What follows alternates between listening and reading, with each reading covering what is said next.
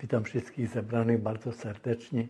Chcielibyśmy dalej kontynuować ten temat okultyzm na tarciu i teraz chcemy rozmawiać o tym, zapoznawać się z tymi metodami, jak to odbywa się w praktyce.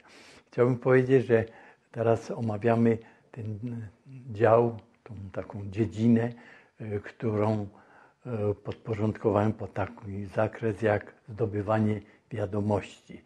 I w ramach zdobywania wiadomości, to znaczy zdobywania wiadomości co do przyszłości, mamy stosowane najróżniejsze sposoby, metody i trudno byłoby wszystkie wymienić. Ja wymieniam tylko kilka, tak dla orientacji, żeby pokazać, jak i co dzieje się w tej dziedzinie. Mówiliśmy już o kabalistyce, o kartach. E, bardzo powszechne jest teraz odlewanie wosku lub ołowiu określone dni roku.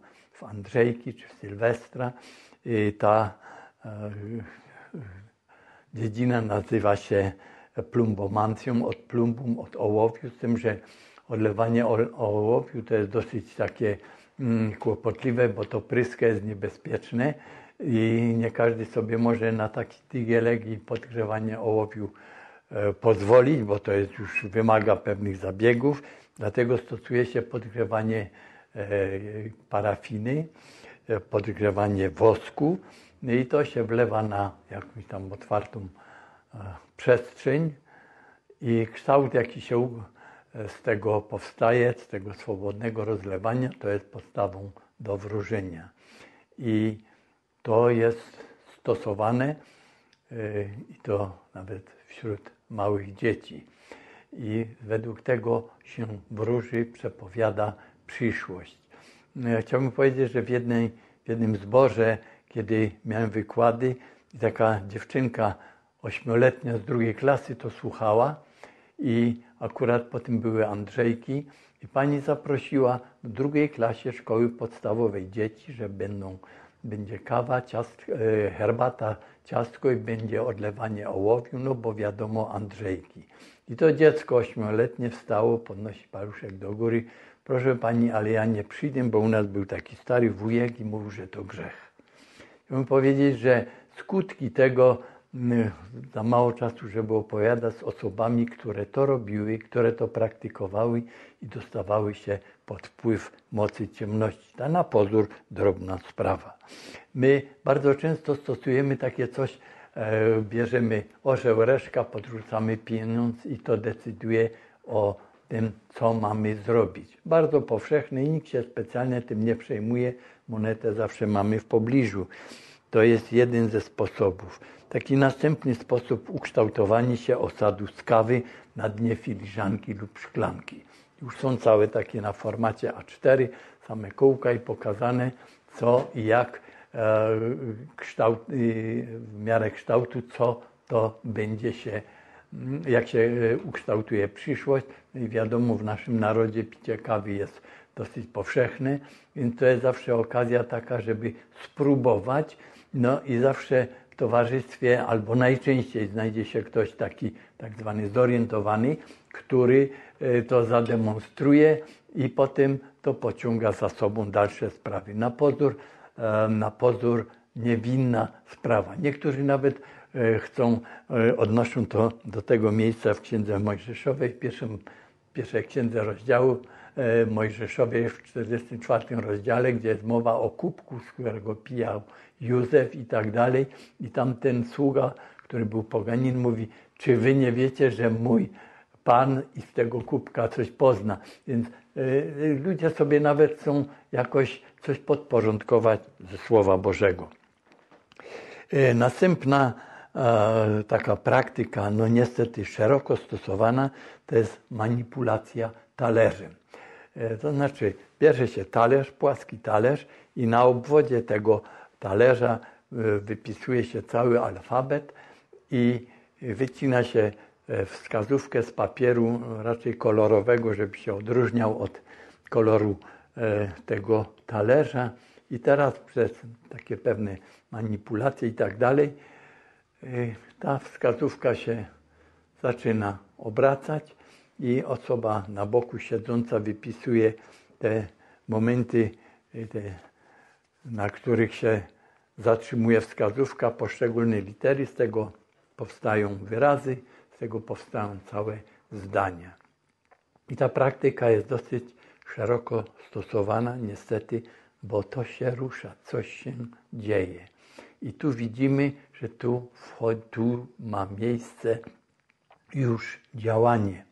Ale gdybyśmy popatrzyli na to, no to trzeba wziąć talerz, trzeba rozmieścić mniej więcej regularnie te 32 litery dookoła, to diabeł idzie ze swoimi propozycjami bardziej do przodu i on oferuje coś innego, coś takiego, co się nazywa bread albo board. To jest taka deseczka, która ma długości około 30 cm, szerokości 8 cm i tam jest od A do Z wypisany cały alfabet.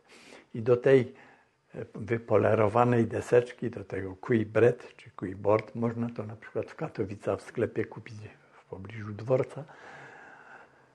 Do tego należy jeszcze taki patyczek, taka, taka taka jak taki patyczek, takie drewnienko, jak się bierze lody kalipso, czasami są na patyczku, nie? Coś takiego wypolerowanego, to się kładzie na tą deseczkę i to się przesuwa. I to już jest gotowe, nie trzeba tymi literami, literami y, rozmieszczaniem, pisaniem liter się kłopocić. I niestety i u nas również już ta deseczka, ten board czy bret, jak to chce kto nazwać, daje się to w prezencie. Z drugiej strony jest jeszcze instrukcja obsługi, jak to działa. I mogę powiedzieć, że zbory chrześcijańskie, ewangeliczne w Niemczech wniosły w swoim czasie protest, bo nauczycielki w szkołach podstawowych w Niemczech to zapoznawały z tą praktyką dzieci w szkole podstawowej i dzieci się tym zajmowały w czasie dużej przerwy, no a nauczyciele mieli wtedy wolne, nie musieli patrzeć, jak się rozbijają. I tu już wchodzi w zakres działanie. I tu muszę powiedzieć, że to już jest pewne niebezpieczeństwo i pewna taka, z jednej strony niebezpieczeństwo, z drugiej strony ta fascynacja, bo coś się dzieje, bo to się rzeczywiście rusza to się rzeczywiście posuwa i oczywiście znowu ktoś siedzi na boku i pisze te, pisze te litery po kolei, z tego powstają wyrazy i tak dalej. I niestety wśród młodzieży wierzącej, bo spotkałem się z tym na obozie, jeszcze sobie e, e, świeczkę do tego zapalają i z tym talerzem zaczynają manipulować. Następnym takim sposobem wróżenia to jest obserwacja zaćmienia Słońca, Księżyca i przepowiadania tym przyszłości. Gdybyśmy wzięli tylko na przykład książkę Ogniem i Mieczem, to tam zaraz na wstępie pisze, jakie to chmury, krwawe niebo i tak dalej. My wiemy, że to nastraja człowieka do snucia pewnych takich przepowiedni. Obserwacja błyskawic kształtu chmur i z tym związane przepowiednie. Bardzo często się zdarza. E, przepowiadanie przyszłości na podstawie śpiewu ptaków. Nie wiem, czy e, audytorium zna takiego ptaka, to jest sowa, która nazywa się na przykład na terenie Śląska Cieszyńskiego kuwik. I ten kuwik, ta sowa, no wiadomo, że sowa e, jest aktywna w nocy i taka sowa jak przyleci i usiądzie na płocie i zacznie się odzywać, to wiadomo, że do trzech dni ktoś umrze i wtedy się roz, Oglądają wszyscy na boki, kto byłby teraz taki akurat podchodził pod to. I, i jakkolwiek to może ktoś powie, że to śmieszne, bardzo temu wierzą i jeśli ktoś rzeczywiście umarł, aha, ja mówiłem, bo ten kuwik i tak dalej był. Więc te rzeczy, to są takie praktyki, które e, na pozór by może były niewinne, ale, ale są przekazywane z pokolenia na pokolenie. Jeśli na przykład ktoś przy jedzeniu sobie uderzył łyżką w zęby, to mówi, aha, będzie nieszczęście, bo uderzył sobie w czasie śniadania czy posiłku w zęby, bo y, łyżką nie wolno uderzyć w zęba. Nie? No, jest taka praktyka, która jest stosowana, stosowana szczególnie przez cyganki, to się nazywa chiromancja, czyli wróżenie z rąk. Niektórzy nawet to uzasadniają tym, co jest napisane w psalmie 39, jest napisane w szóstym wierszu. Otoś na dni wymierzył dni moje, a wiek mój jest jako nic przed Tobą. A więc otoś na dłoni wymierzył dni moje. I cyganki, proszę, daj rękę, daj rękę. Taki przerażający wypadek był, e, to znaczy taki e, na naszym terenie, którego osobiście byłem e, świadkiem, ale już niestety po fakcie, młoda dziewczyna, rodzice wierzący, ojciec kaznodzieja, tej 17-letniej dziewczynie, no daj powróżyć i wyciągnęła rękę i cyganka jej powróżyła. I powiedziała jej, ty nie umrzesz normalną śmiercią. Miała 17 lat. Ona o tym nawet zapomniała, ale kiedy już miała lat 52 czy 3, mniej więcej miała takie pewne kłopoty rodzinne i tak dalej. I ona zaczęła sobie przypominać, o, mi to powiedziała i to się sprawdza, teraz te kłopoty. I ta osoba sobie odebrała życie yy, i powtarza, to było ponad 30 lat później. Ja to podaję jako taki przykład, że niestety te rzeczy nie zawsze od razu się jeszcze pojawią i ona gdyby powiedziała to a to, mam takie myśli, ja sobie to przypominam i teraz proszę o oczyszczenie. Nie, w tym zborze nie było takiego nauczania i ta osoba sobie odebrała życie. Inny rodzaj też wróżenia to jest fizjonomika, y, wyczytywanie y, czy przepowiadanie przyszłości z wyrazu twarzy.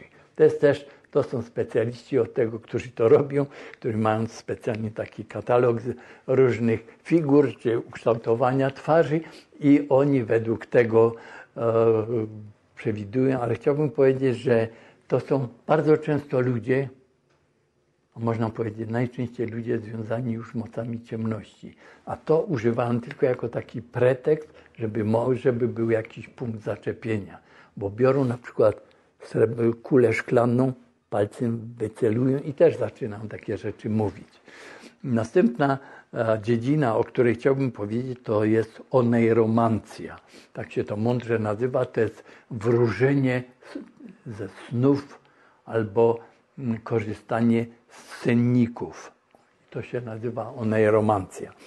E, kiedyś był taki zwyczaj, potem to zanikło, teraz znowu to się pojawia, że jak wychodzi młoda dziewczyna za mąż, to od babci dostaje taki tak zwany sennik. Ten sennik, przed wojną ten sennik egipski miał taki dziwny format, taki, taki wysoki e, formatu, taki bardzo e, wąska e, książka i tam były najróżniejsze sny i tak dalej i to babcia dawała swojej wnuczce i to pomaga.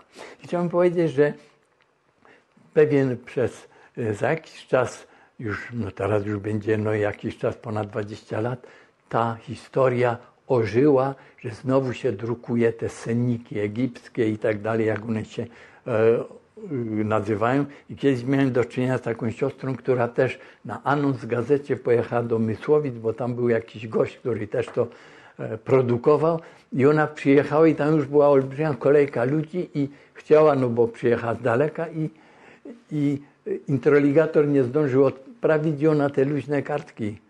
Odebrała byle tylko to mieć i potem miała takie problemy, że o tym wszystkim dowiedziałem się, kiedy była potrzeba rozmowy i modlitwy.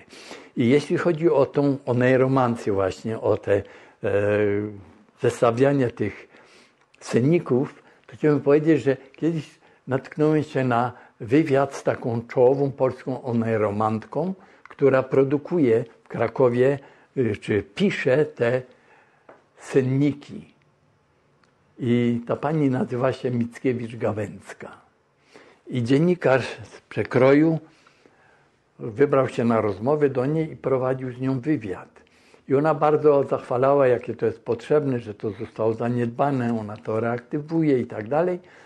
I kiedy on to wszystko wysłuchał, to pyta się, a skąd pani ma takie predyspozycje, żeby, no, tak bym powiedział, potrafił płodzić te, te, te senniki? A ta pani mówi, a czy panu moje nazwisko nic nie mówi? Mickiewicz, Gawęcka? On się, no, proszę pana, no, no wiem kto Mickiewicz. Proszę pana, w naszym domu, w naszej rodzinie, o babcia i prababcia te praktyki stosowali u nas, to pukanie w stoliki, to otwieranie się drzwi i te różne historie, to były tak na porządku dziennym, że ja w tej atmosferze wyrosłam. Ja to od moich przodków przejęłam. Nie wiem, jakim był Mickiewicz, chcę na ten temat w tej chwili mówić. Chciałbym powiedzieć, ona się na to powoływała i ona to opracowuje. I dlatego chciałbym powiedzieć, że e, my jako dzieci Boże znamy, co to były objawienia snu, które miał faraon w Egipcie, sny, które miał Nabuchodonozor i tak dalej, ci królowie e, w Babilonii, ale wiemy, że te sny, przez które Bóg przemawiał do tych ludzi, nie był w stanie wytłumaczyć żaden praktykarz. I nie, nie neguję tego, że Bóg może przez sen przemówić, ale chciałbym powiedzieć, że każdy powie, jak ja się y, za dużo najem na kolację, to mi się cygany śnią, nie? To znaczy, że y, organizm musi pracować i co wcale nie jest zdrowe i tam się coś pojawia, nie? Ale y, z tego wysnuwać i przepowiadać przyszłość, to jest już, to jest taki pretekst, żeby diabeł przeciwnik mógł do człowieka dostąpić. I jeszcze raz powtarzam, że my znamy wiele przypadków ze Słowa Bożego, gdzie mieli różni ludzie sny, ale te sny, które Pan Bóg przez y, sny rozmawiał, przemawiał do ludzi, czy wierzących, czy tak jak do tych królów, tak dalej, to tych snów nie był w stanie wytłumaczyć żaden praktykarz, czy mędrec chaldejski, babiloński, czy egipski.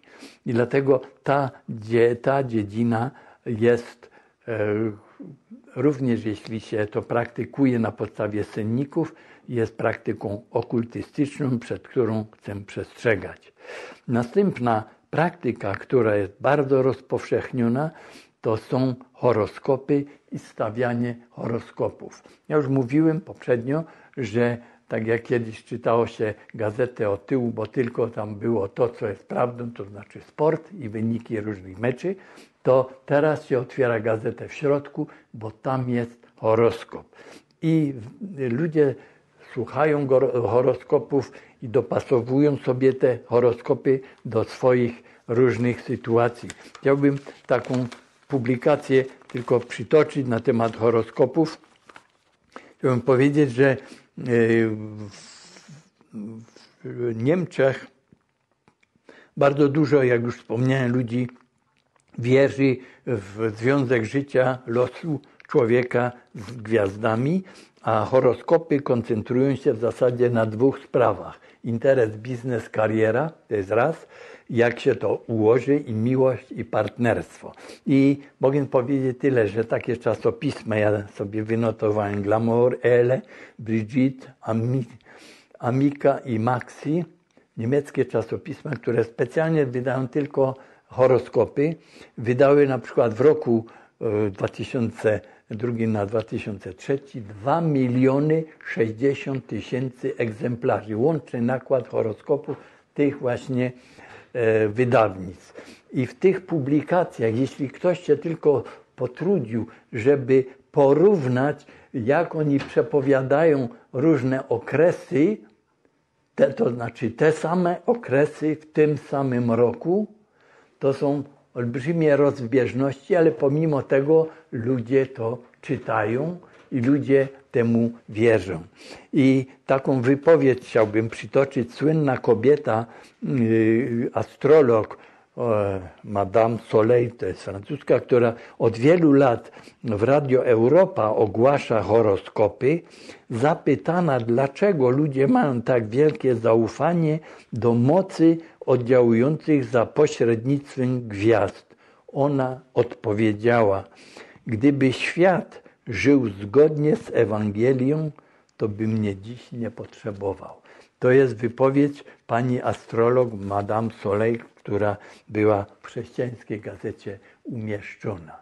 A więc ona sobie z tego zdaje sprawę, że gdyby ludzie żyli według przesłania Ewangelii, to by ona nie miała w ogóle klientów, ale jest inaczej.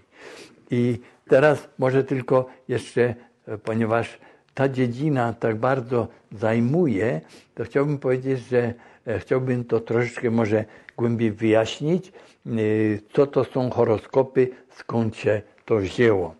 Horoskop według słownika to jest tablica przedstawiająca zodiak i ukazująca położenie planet w stosunku do znaków zodiaku w określonym czasie, będąca podstawą przepowiedni astrologicznych.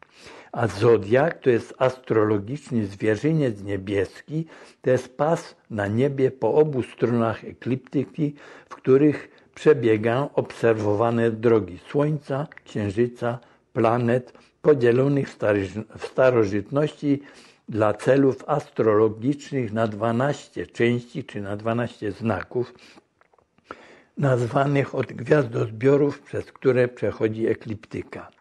A astrologia według słownika, polskiego słownika, to jest wróżbiarstwo przepowiadające ziemskie wydarzenia z pozycji i aspektów gwiazd i planet oparte na ich rzekomym wpływie na ludzkie sprawy. E, chciałbym powiedzieć, że w roku 1580 bulą papieską zostały potępione praktyki astrologiczne, ale astrologia niestety rozwija się i astrologia bazuje na starych pogańskich wierzeniach, że wszystko to, co się dzieje, a w szczególności losy ludzi są całkowicie uzależnione od gwiazd. I usytuowanie gwiazd, czyli układ konstelacji gwiazd w momencie urodzenia dziecka ma decydować o jego losach i w ciągu całego życia. Mogę tylko tak humorystycznie podać, że ci astrolodzy mają największą E, największy problem, jak się urodzą bliźniaki, bo każdy z tych bliźniaków inny ma los, ale urodzą się tym, pod tą samą gwiazdą i oni tego nie potrafią wytłumaczyć i dlatego jak chce się dokuczyć tym właśnie ekspertom, to mówi, no dobrze, a bliźniaki, a każdy jest inny, a jest chłopak i dziewczyna, w dodatku to już całkiem są w matni, nie umieją wyjaśnić tego. Chciałbym powiedzieć, że jest powiedziane w, księdza, w Księdze Królewskiej w 23 rozdziale y, w Słowie Bożym bardzo często te gwiazdozbiory i to wszystko to się y, określa tutaj jako wojska niebieskie i kiedy Jozjasz, ten król reformator, wyrzucał te wszystkie nieczystości, które były w świątyni, to tam były również te E, praktyki astrologiczne, te znaki zodiaku, to tam wszystko było i on to usunął. I co możemy powiedzieć, że już pismem klinowym u Sumerów były spisywane horoskopy, tym pismem klinowym na tych stoczkach glinianych. A więc to jest już 2000, ponad 2000 lat przed naszą erą i to jest E, bardzo, bardzo stary zwyczaj. I chciałbym powiedzieć, że astrolodzy twierdzą, że ich sztuka nie jest wiedzą naukową, ale jest ponadnaturalną nauką i światopoglądem, który wymaga wiary w to bez dalszego dociekania. Astrologia nie ma nic wspólnego z astronomią. Astrologia stoi w całkowitej sprzeczności z biblijną wiarą i jest pogańską, wrogą Bogu, antychrześcijańską religią w gwiazdozbiory. A za tym kryje się demoniczny duch wróżbiarstwa.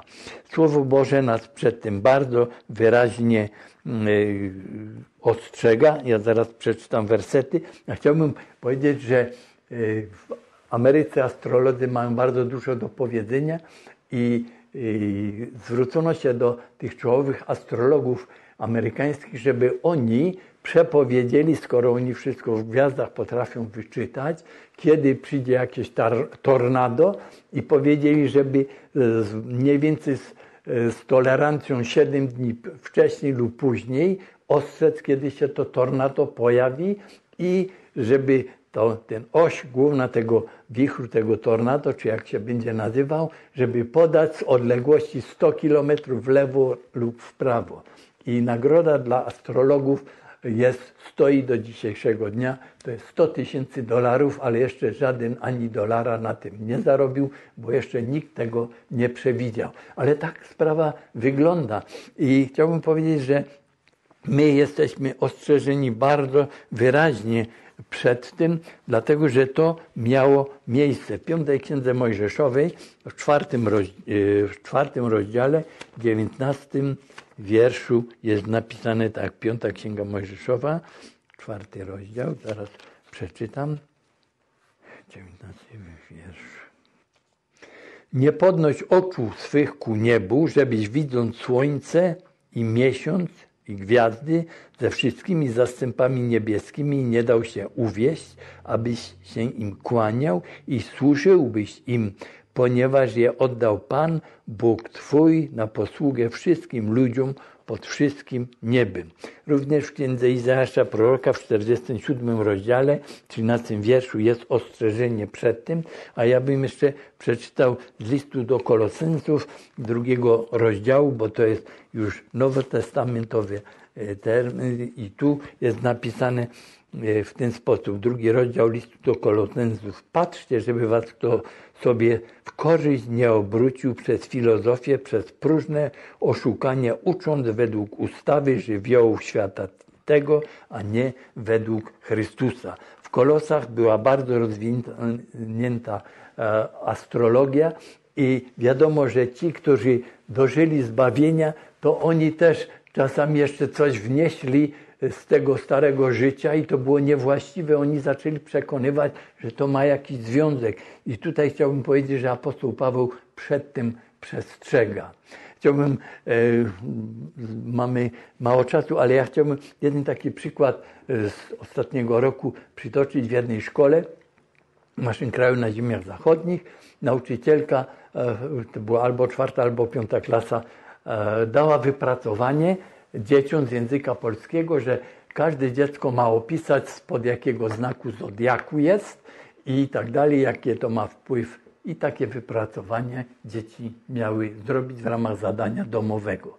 I akurat w jednej e, klasie były, była dwójka dzieci e, z rodzin wierzących i te dzieci nie wiedziały nic pod jakiego znaku są wiedziały, że to jest złe i rodzice wiedzieli o tym, że jest złe, a teraz jest zadanie, pani dała zadanie e, domowe. No i ci rodzice się skomunikowali, no ty co zrobić, no ty co zrobić i zrobili takie bardzo mądre pociągnięcie. Zwrócili się do pastora, a ten pastor akurat w tych sprawach, e, my się znamy, on to też były tam wykłady i on mówił, dobrze, niech te dzieci zadania nie piszą, a ja zgłoszę się na rozmowę do dyrektora szkoły. I chciałbym powiedzieć, że on tą wizytę umówił, te dzieci nie zrobiły tego zadania, nie napisały, no bo nie wiedzą, nie? I on przyszedł do dyrektora i mówi tak, że my jesteśmy chrześcijanie, my jesteśmy biblijnie praktykujący chrześcijanie, a to jest grzechem i dlatego my naszych dzieci tego nie uczymy, nasze dzieci o tym nie wiedzą i on im taką, mu taki krótki wykład zrobił, a ten dyrektor siedział nawet nie wiedział, co na to powiedzie, chyba pierwszy raz o tym słyszał.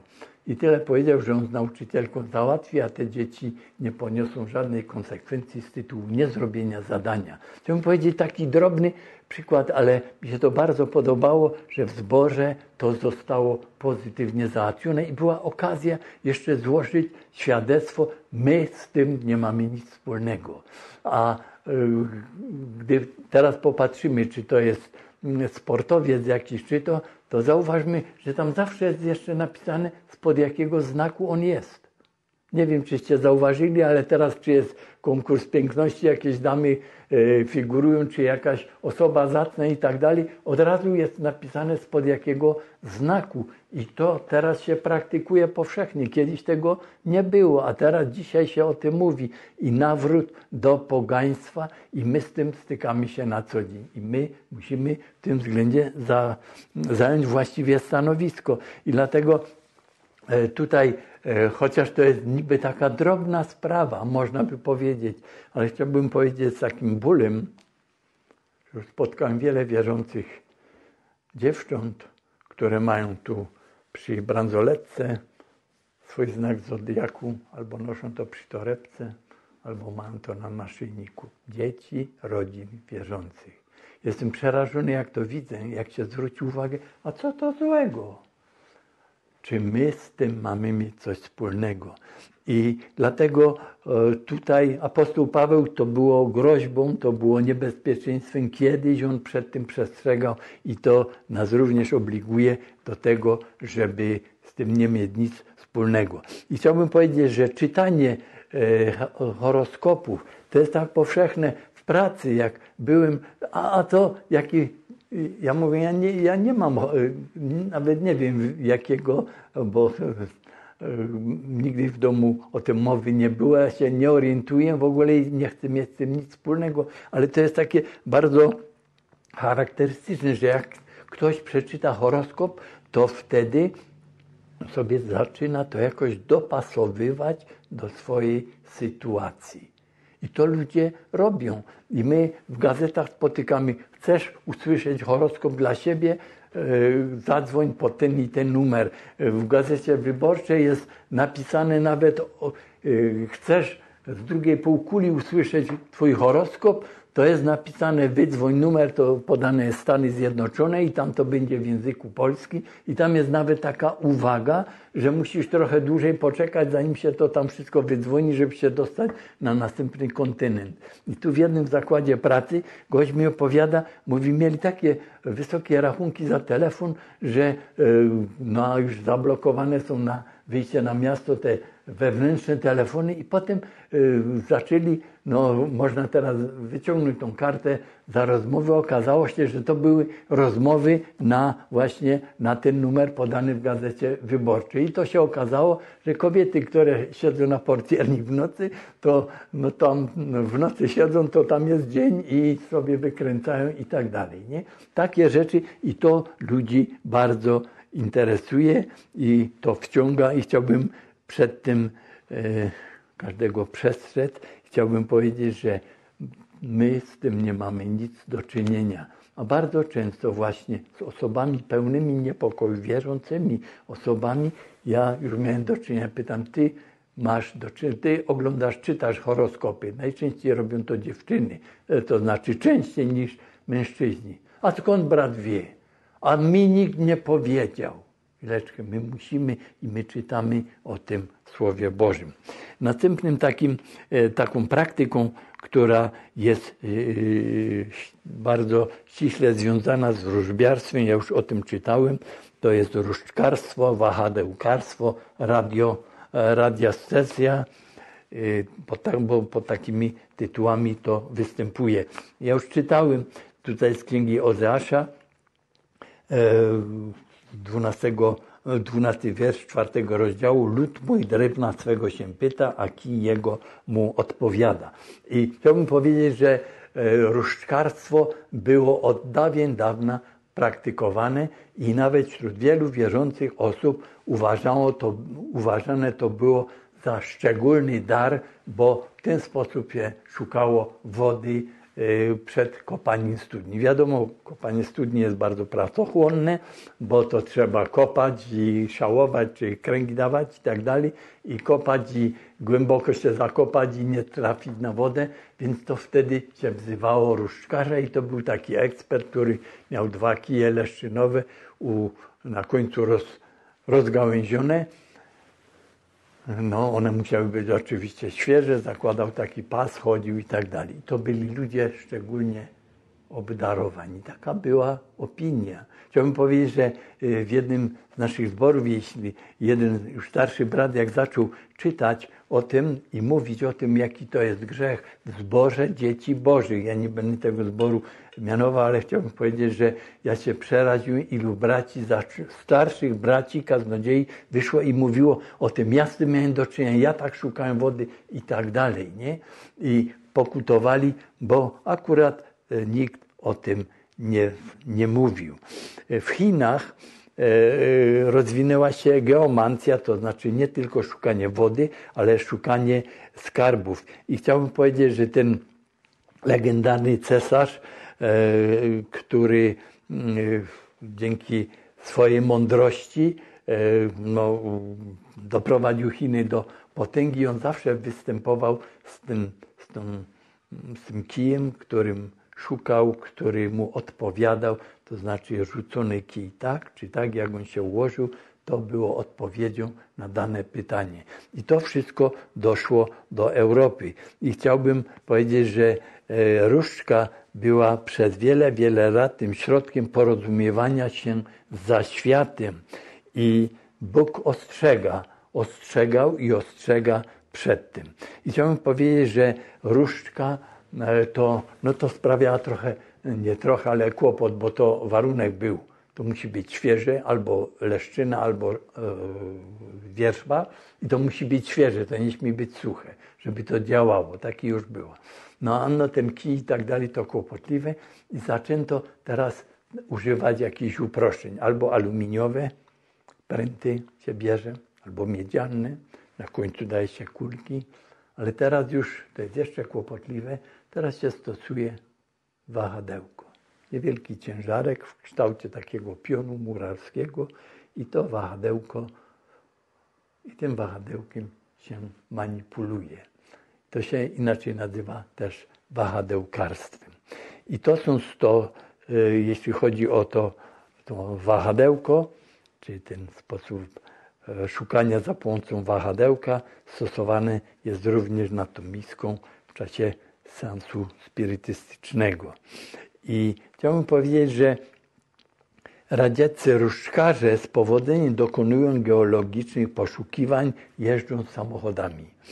I y, Soczefanów, to jest jakiś taki radziecki uczony, powiada, że różdżkarze wykazywali te same reakcje e, bez względu na to, czy zajmowali, znajdowali się wewnątrz samochodu, czy poza samochodem. A ponieważ w samochodzie, jeśli tam praktykowali to, e, przy przejeżdżaniu tych dużych obszarów, to e, ta podłoga samochodu to stanowi pewien taki ekran, który by to w jakiś sposób e, zmieniał to tak zwane to promieniowanie, to działanie, więc stwierdzili, że to nie ma natury elektrycznej, ale mm, powiedział tak, czy jaki to ma, jakie to ma działanie, jest to takie najistotniejsze, ale my jako naukowcy nie potrafimy na przykład wytłumaczyć zjawiska elektryczności, ale to nie przeszkadza, żebyśmy nie świecili czy prasowali żelazkiem. Chciałbym powiedzieć, że e, u nas rozpowszechniła się w związku z tym e, w związku z taką mm, teorią czy opowiadaniem, że tam żyły wodne i tak dalej powodują różne schorzenia, że jak ktoś dostaje mieszkanie, to bierze sobie takiego eksperta, który albo z różdżką, albo z tym wahadełkiem chodzi i penetruje mieszkanie i decyduje, gdzie należy ułożyć łóżko i tak dalej, bo jeśli w niewłaściwym miejscu ustali, y, położy ten tapczan łóżko, to może mu dolegać y, jakaś choroba i tak dalej. I u nas był taki okres, wiadomo, że na mieszkanie czekało się wspólnie, y, współdzielnie 10 czy 15 lat i teraz dostaje się to upragnione mieszkanie na siódmym czy dziewiątym piętrze i zaprasza się takiego różdżkarza, a on mówi o tym, że tu są żyły wodne. Były, y, były organizowane, nawet w Cieszynie też były organizowane kursy dla radiacetów, którzy zajmują się penetracją mieszkań. I ludzie nie wiedzieli, gdzie co ustawić i, i byli w kłopocie. No, i jeśli by to miało naturę elektryczną, to na siódmym czy dziewiątym piętrze było tyle tych beton, betonowych ekranów, a to działało. I było nawet takie zarządzenie też, pamiętam to, e, z tym się zetknąłem, że minister zdrowia zabronił urządzania tych kursów dla radiastetów, bo oni ludzi wpędzali w strach. Ale diabeł idzie jeszcze trochę dalej e, z tą sprawą i mówi tak, no trudno, jak już tu nie, tu nie, to są takie urządzenia i są one produkowane w Niemczech. To jest cały zwoje drutów, takie dwa jakieś kondensatory. To produkuje taka firma niemiecka Waleda Aktiengesellschaft, e, Schwedisch Gmünd i to jest skatalogowane niższe, wyższe od, teraz nie wiem ile w, w, w euro, ale kosztowało to 200 50 do 320 marek według katalogu i to się wsuwało pod tapczan, żeby zniwelować te rzeczy. Ja chciałbym tylko powiedzieć, tutaj w sąsiedztwie naszym nawróciła się jedna niewiasta, jedna siostra, która miała przed sobą bardzo poważne operacje. I przychodził, bo kawałeczek dalej mieszka taki też, yy, który te praktyki stosuje, on teraz już jego syn. No i ten człowiek przyszedł, mówi do tej siostry, ona wtedy jeszcze była nienawrócona, no tak, bo tu ma pani takie e, miejsce, to trzeba przestawić meble. A ponieważ on był stary i przychodził co trzy miesiące, nic nie pomagało, ona obeszła trzy kąty w, w pokoju, ale w końcu były czwarte drzwi i mówi, że już nie ma gdzie przestawić mebli. I on im przywiózł takie właśnie różne druty, zwoił i kazał jej to dać pod łóżko. I kiedy ta niewiasta naprawdę dożyła zbawienia, nawróciła się w naszym zborze, to ona nikomu nic nie mówiąc, to były dwie potężne, pękate reklamówki, zaniosła to temu gościowi z powrotem. I ktoś by powiedział, no głupia kobieta dała się nabrać. I ja po tym patrzę się, że to przecież w Niemczech jest skatalogowane i Niemcy to praktykują. Pomoże, nie pomoże, dla pewności odżałuje te pieniądze, daje to. I my się dostajemy pod wpływ mocy ciemności. I chciałbym powiedzieć, że ktoś by powiedział, a to nie jest takie złe. Ja chciałbym powiedzieć, że za tym stoi moc. I taki przykład podam. Jeden wierzący brat miał budować dom i on też, no, nie było wodociągu, więc chciał, żeby e, wyszukać, no, trzeba było wykopać studnię. I zaprosił sobie wierzący brat tego różdżkarza. No i ten chodził tam i tak dalej, i tak. I w końcu wbił e, palik tu, a tu należy kopać studnię, woda będzie na pewno. I ten wierzący brat się zwraca do tego różdżkarza, panie, to daj mi pan teraz te pręty i tak dalej, ja spróbuję, czy mi to też pokaże. No i nie ma sprawy. Dał mu te dwa pręty, ten pas skórzany, który ma trzy szlufki, nie cztery ani dwie, trzy. No i ten brat chodzi tam, gdzie już ten kołek był nabity, więc to tu powinno wybić, jak się to nazywa, bo wtedy te pręty zadziałają, tu się nic nie dzieje. Nie? No i ten brat mówi do tego różdżkarza, panie, to nie działa. I on to chce, panie, chwileczkę, ja to panu pokażę, jak to zadziała. Chciałbym powiedzieć, że on podszedł do niego z tyłu, położył swoje ręce na te ramiona, to od razu wybiło. Chciałbym powiedzieć, straszna rzecz, ale wiemy, że moc idzie i w jednym, i w drugim kierunku. Moc idzie i w jednym, i w drugim kierunku.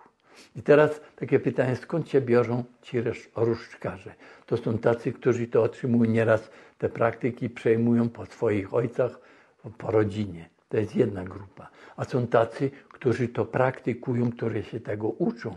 Jest taki co, czołowie radiasceta polski, pan Czech, magister Czech emfazy, Lech Emfazy Stefański w Warszawie I, i ze swoimi dziećmi, on się w internecie, w telewizji, on się reklamuje, że on takie kursy prowadzi, on w to wprowadza. I chciałbym powiedzieć taki dowód, ja się przeraziłem, jak ja słyszałem to świadectwo, że za tym stoi moc. I my wiemy, że e, apostoł Paweł tak wyraźnie pisze, na nikogo z prędka rąk nie wkładaj, aby się nie stał uczestnikiem cudzych grzechów. I my możemy w pozytywnym, ale i w negatywnym się zarazić. I dlatego chciałbym jeszcze powiedzieć, że ci, którzy to przechodzą te kursy, bo takie kursy są niestety ciągle, yy, ciągle są yy, urządzane, to tu jest wyraźnie powiedziane, że taka osoba musi być bardzo intensywna, ona musi być czuła i ona musi przede wszystkim wierzyć w skuteczność działania. I na koniec chciałbym jeszcze powiedzieć, kiedyś byłem w zborze jednym w Koszycach, to jest dosyć daleko stąd, i tam brat, który wybudował dom, opowiadał mi takie świadectwo, kolonia na zboczu takim, e, poza miastem, brat żonaty czworo dzieci, wierzący brat otrzymał parcelę i miał budować dom. I tam na całym terenie jeszcze nie było wodociągu i nie było wody. No i on teraz mówi zacząć budowę od wykopania studni. I przyszło do niego czterech braci, no i będziemy kopać. I pytam się go, a był już tu ten różdżkarz, żeby to wskazać? On mówi, ja do różdżkarza się zwracę, jestem wierzący. A ja wierzę, skoro Pan zna moją potrzebę i dał mi tą parcelę, żeby miał dom, to mi daje wodę. A jak ty temu nie wierzysz, to ja uklęknę się będę pomodlił, bo jak ty nie wierzysz, to lepiej jeden, który wierzy, a nie żeby ten, co powątpiewa. On uklęknął, pomodlił się, wstał z kolan i tak, no tam była oś zabudowy i to była z góry wyznaczona. Mówi, tu wykopiemy. Ja chciałem powiedzieć, że piłem wodę z tej studni, a ci, co budowali obok, wszyscy brali wodę z tej studni. Ten brat nie został zawstydzony. Ale jeśli my się udamy do takich środków, to my też może doznamy, rozwiązania, ale w jaki sposób i za jaką cenę. I dlatego to właśnie chciałbym e, tak bardzo e, jakoś e, zaakcentować, żeby tego nie praktykować. Jest tak wiele ludzi, którzy zanim zaczną jakiś posiłek, coś jeść, czy ta potrawa nie zaszkodzi, to biorą wahadełko i sprawdzają, mogę lub nie mogę. Praktykują to i ja to spotkałem i wśród wierzących. Straszna rzecz, że bierze, a jak nie ma tego wahadełka, to jest taka prosta rada. To nawet w telewizji było. Zdejm obrączkę, wyrwij włos i tym obrączką i to ci też pokaże. To się dzieje dzisiaj u nas również wśród ludzi wierzących.